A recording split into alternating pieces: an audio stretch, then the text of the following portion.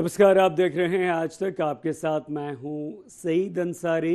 इस समय कोरोना को लेकर एक खतरनाक जानकारी आई है। हमारे देश में कोरोना का खतरनाक स्तर अभी आने वाला है और यह आशंका ज़ाहिर की है। Delhi all India institute of medical sciences के डायरेक्टर रणदीप गुलेरिया ने, डॉक्टर गुलेरिया ने कहा है कि जून में कोरोना के आंकड़े पीक पर होंगे, हालाँकि उसके बाद गिरावट आएगी। तो डॉक्टर गुलेरिया ने यह आशंका ज़ाहिर की है कि अभी हमारे देश में जितने कोरोना के केसेस आ रहे हैं, उससे कहीं ज़्यादा केसेस अगले महीने, यानी कि जून में आएँगे। और जून में कोरोना के जो केसेस होंगे, वो अपने पीक पर होंगे। जिस तरह का ट्रेंड चल रहा है, हर रोज़ जिस तरह के केसेस सामने आ रहे हैं 2000 से ज़्यादा, उसके अनुसार जून सबसे ज़्यादा हमारे देश में खतरनाक होने वाला है। हमारे संवाददाता अशोक सिंघल ने डॉक्टर गुलेरिया से बातचीत की। सुनिए। एम्स के डायरेक्टर डॉक्टर रणदीप गुलेरिया ने कहा है कि कोरोना के केसेस जून और जुलाई में पीक पे होंगे। क्या लॉकडाउन का फ़ायदा मिला या नहीं मिला? इन तमाम मुद्दों पर बात करने के लिए हमारे साथ मौजूद हैं खुद डॉक्टर गुलेरिया। डॉक्टर साहब कोरोना केसेस लगातार बढ़ते जा रहे हैं। कहीं कमी दिख नहीं रही है। क्या और क्या आ, कब खत्म होगा ये मामला जाकर के और पीक पे कब होगा? देखो ये समझना ज़रूरी है कि कोरोना के केसेस तो काफ़ी देर तक रहे आएँगे। ये ऐसा नहीं है कि एकदम बीमारी ख़त्म हो जाएगी। We will have to live with corona लेकिन ये भी सही है कि हमें कोशिश करनी है कि आस्ता आस्ता केसेस कम हो और जो हॉटस्पॉट्स हैं उसमें इतने ज़्यादा केसेस ना हो। तो मेरा ये मानना है कि जैसे जैसे हम ट्रेंड देख रहे हैं और जो मॉडलिंग डेटा आ रहा है, उसके हिसाब से ये लग रहा है कि जो हमने लॉकडाउन किया है उससे जो रैपिड स्पाइक था वो नहीं हुआ है। We have time to prepare as far as health care facilities are concern but cases आस्ता आस्ता जो बढ़ रहे हैं उसके लिए जो जो प्रडिक्शन है वो यही है कि समवेयर अराउंड जून एकदम केसेस काफ़ी ज़्यादा हो जाएँगे और उसकी हमें तैयारी करनी चाहिए। तो इससे लॉकडाउन का बहुत ज़्यादा फ़ायदा नहीं मिल रहा है क्योंकि जितना लॉकडाउन किया गया। नहीं लॉकडाउन का बहुत फ़ायदा मिला है। एक तो अगर आप देखो और देश के हिसाब से हमारे यहाँ इतने ज़्यादा केसेस नहीं हुए इतने दिन हमें मिले हैं ऑलमोस्ट छः हफ़्ते मिल गए जिससे हॉस्पिटल कोविड फैसिलिटीज़ बन गई हैं लोगों की ट्रेनिंग हो गई है वेंटिलेटर्स आ गए हैं। हमारे जहाँ टेस्ट कम हो रहे थे वो एकदम बढ़ गए हैं। एक एक समय था जो हमारे टेस्ट जो हैं वो हज़ार के करीब हो रहे थे। अब हम अस्सी हज़ार टेस्ट कर रहे हैं। कुछ दिनों में हम हंड्रेड थाउज़ेंड एक लाख कर लेंगे। तो ये सारी चीज़ें लॉकडाउन के कारण ही हो पाएँगी तो डॉक्टर साहब आखिरी सवाल आगे क्या होगा? जून और जुलाई आप कह रहे हैं पीक पे होगा तो थमेगा कहाँ जाके सिलसिला और कैसे थमेगा? तो अगर आप सारा ग्लोबल डेटा देखें तो एक दफ़ा जब पीक होता है तो उसके बाद आस्ता आस्ता प्लेटू होके केसेस कम होने लगते हैं। न्यूयॉर्क में भी अब कम हो गए हैं इटली स्पेन में भी कम होने लगे। तो हमारा भी आस्ता आस्ता जो है केसेस जो है उसके बाद अगले कुछ हफ्तों में कम होने कितना लंबा चलने वाला है कोरोना का पीरियड ये तो प्रोडिक्शन कहना बड़ा मुश्किल है। ये तो आगे ही जैसे जैसे केसेस का हमें आइडिया होगा और कैसे कैसे कम हो गए तो हम कह पाएँगे। कैमरामैन संजीव के साथ अशोक सिंगल दिल्ली आज तक। डॉक्टर गुलेरिया ने जो प्रोडिक्शन किया है, वो बहुत ख़तरनाक है। जून में सबसे ज़्यादा मामले होंगे और काफ़ी तेज़ी से कोरोना बढ़ेगा। गुजरात के अहमदाबाद में कोरोना के बढ़ते मामलों के बाद पैरामिलिट्री फोर्सेस को वहाँ पर उतार दिया गया है। सीमाएँ सील कर दी गई हैं।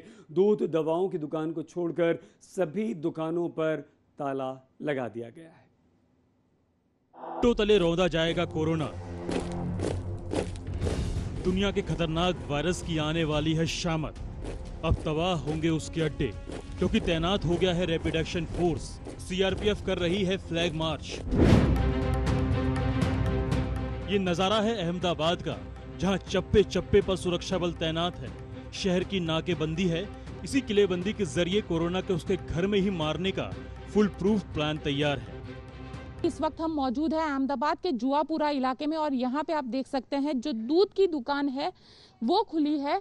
साथ ही आरएफ को तैनात कर दिया गया है ताकि जो पैरामिलिट्री फोर्स है, वो इलाके में लगातार यहाँ पे रहे और जो लॉकडाउन है, उसका सख्ती से पालन करवाए।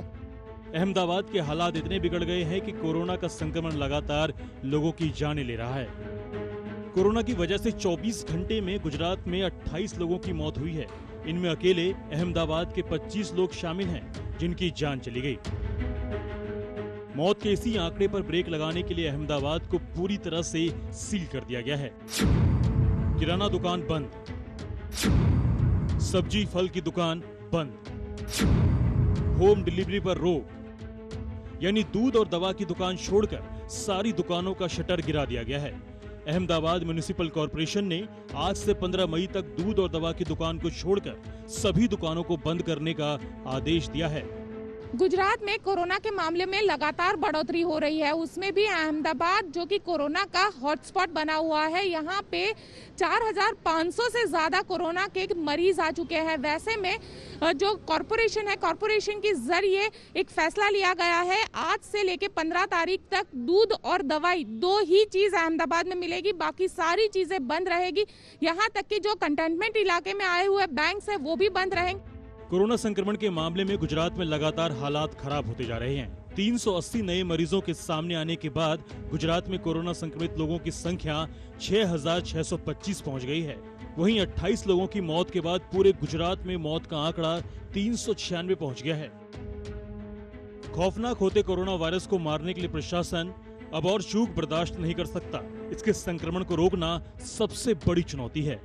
कि दूध और दवा की दुकानें इसके अलावा बाकी की सब दुकानें कुछ दिनों के लिए हम बंद रखेंगे और इस दरमियान हम इन सभी लोगों का सर्वेलेंस करेंगे चेकिंग करेंगे और अगर इसमें कुछ सस्पेक्टेड केसेस पाए जाते हैं तो वो सुपर स्प्रेडर्स दूसरे लोगों में न फैलाएँ, इस चीज़ को रोका जाएगा। पूरे देश में महाराष्ट्र के बाद गुजरात में कोरोना के सबसे ज़्यादा मामले हैं।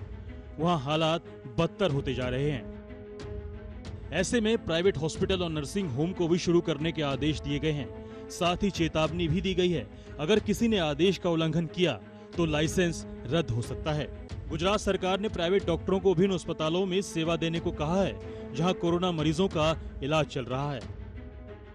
करीब साढ़े बिरानवे लाख की आबादी वाले अहमदाबाद में कोरोना के कई अड्डे पनप गए हैं। लोगों को लापरवाही और लॉकडाउन का सही से पालन नहीं करने का खामियाजा आज पूरा गुजरात भुगत रहा है। ऐसे में लोगों को समझना होगा कि अगर जान बचानी है तो लॉकडाउन का सख्ती के साथ पालन करने के अलावा फ़िलहाल कोई रास्ता नहीं है। गोपी घांघर अहमदाबाद आज तक। अहमदाबाद में स्थिति कैसी है ये आपने देख लिया। मुंबई में तो स्थिति और भी गंभीर है। संक्रमण फैलने की जो रफ्तार मुंबई में है वो हर किसी के लिए टेंशन बढ़ाने वाली है। महाराष्ट्र में आंकड़ा 16,000 के पार जा चुका है। सिर्फ़ मुंबई में ही दस हज़ार से ज़्यादा लोग अब तक संक्रमित हो चुके हैं।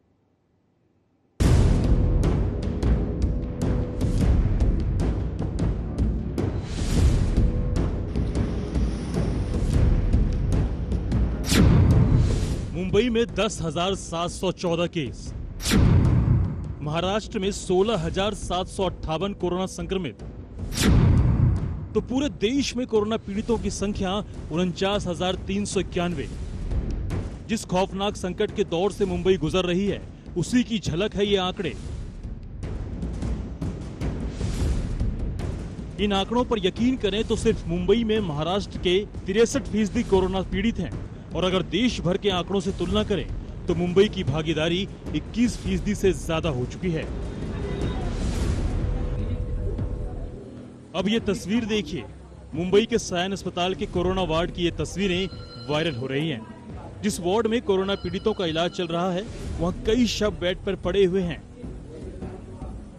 आज तक की पड़ताल में अस्पताल प्रबंधन ने बेबसी बताई। टीम ने बताया कि शव गृह में सिर्फ़ 60 शव रखने की क्षमता है। इनमें कोविड के लिए सिर्फ़ 15 ही आवंटित हैं।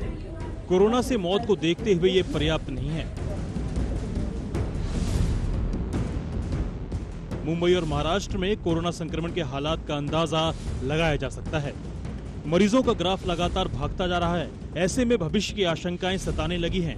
अभी मुंबई में तैतालीस अस्पताल हैं। वहाँ तीन हज़ार बेड कोविड के लिए हैं, लेकिन बढ़ते आंकड़े बड़े खतरे से आगाह कर रहे हैं। सरकार उन्हीं खतरों को देखते हुए मेडिकल इंतज़ाम सुधारने की कोशिश में लगी है। कई खुले जगहों को क्वारंटीन सेंटर या अस्पताल में तब्दील किया जा रहा है। उनमें से एक है महालक्ष्मी रेस कोर्स की पार्किंग, जहाँ 325 बेड का अस्पताल तैयार किया जा रहा है। बांद्रा कुर्ला कॉम्प्लेक्स के एमएमआरडीए ग्राउंड में भी 1000 बेड का अस्पताल तैयार किया जा रहा है। वर्ली के स्टेडियम में भी 600 से ज़्यादा बेड के अस्पताल की तैयारी है, जिसमें आईसीयू का भी इंतज़ाम है। वहीं नेहरू साइंस सेंटर कोविड 19 के फैसिलिटी में तब्दील हो चुका है। अब इसे 100 बेड का आइसोलेशन वार्ड बनाया जा चुका है। मुंबई अपने सबसे बुरे समय के लिए तैयार हो रहा है। कोरोना वायरस के जो केसेस है, वो दस हज़ार का आंकड़ा पार कर चुका है। बीएमसी की माने तो ये आंकड़ा अस्सी हज़ार तक पहुँच सकता है। इसलिए अब मुंबई के जो ओपन स्पेसेस है, पार्किंग लॉट्स हो, एग्जीबिशन सेंटर्स हो डोम सेंटर्स हो साइंस सेंटर्स हो सभी कुछ उन सबको अब क्वारंटाइन सेंटर्स और ओपन हॉस्पिटल्स में कन्वर्ट किया जा रहा है। इसमें तो हमारा है। इस महामारी में तमाम वॉरियर्स पर भी खतरा मंडरा रहा है। मुंबई के जेजे पुलिस स्टेशन के 26 पुलिसकर्मी अब तक संक्रमित हो चुके हैं। सोलापुर में कल एक एएसआई की मौत भी हो गई। जानकारी के मुताबिक मुंबई में संक्रमण के दोगुना होने की रफ्तार आठ दशमलव नौ फ़ीसदी है। ऐसे में मुंबई की हालत अभी और गंभीर हो सकती है। सौरभ बक्तानिया के साथ साहिल जोशी, मुंबई, आज तक।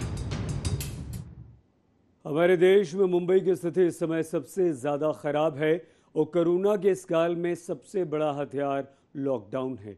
लेकिन इसी लॉकडाउन में मजदूर अपने घर लौटने को बेताब हैं। बिहार में जब ऐसी ही स्थिति में हज़ारों मजदूर लौटे तो उनका स्वागत किया गया।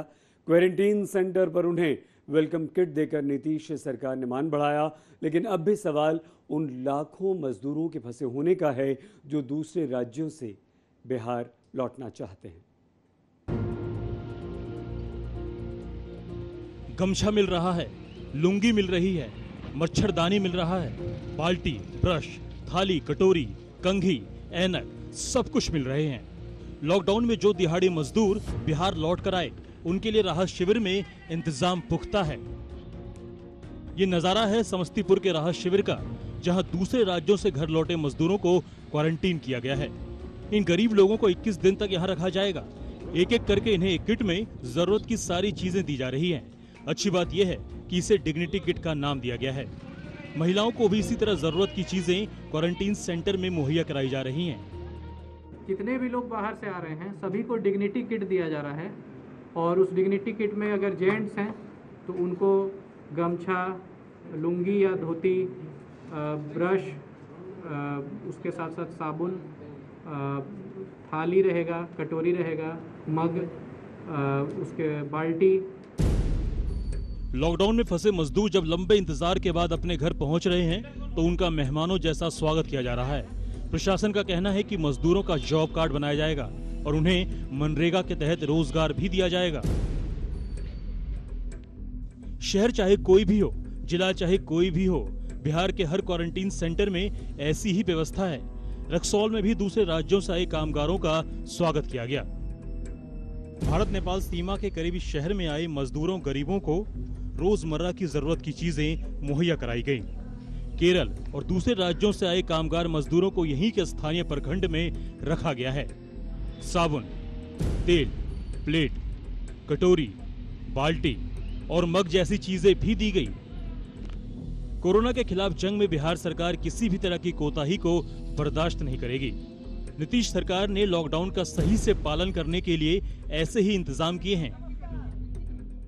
कोरोना से उपजे इस संकट को अब नीतीश कुमार की सरकार एक अवसर के रूप में देख रही है। यही वजह है कि क्वारंटाइन सेंटर में रहने वाले लोगों को किसी प्रकार की दिक्कत ना हो, इसका खास ख्याल भी रखा जा रहा है।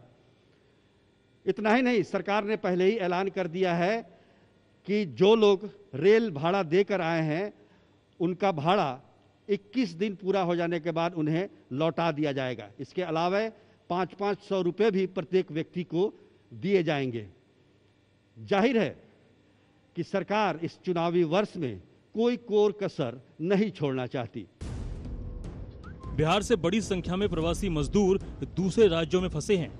लॉकडाउन के इस फ़ेज़ में जब ट्रेनों की आवाजाही शुरू हुई तो लोग अपने राज्य लौटने लगे। लेकिन कहीं संक्रमण का खतरा बढ़ ना जाए, लिहाजा नीतीश सरकार ने इन्हें क्वारंटीन सेंटर में रखकर एक तीर से दो निशाने साधे हैं। एक तो बिहार को कोरोना के खतरे से बचाने की मुहिम दूसरा, इन मजदूरों के खाने का पूरा बंदोबस्त करके इनकी मुश्किलें कम कर दी हैं। समस्तीपुर से जहांगीर आलम, रक्सौल से गणेश शंकर के साथ सुजीत झा, पटना, आज तक।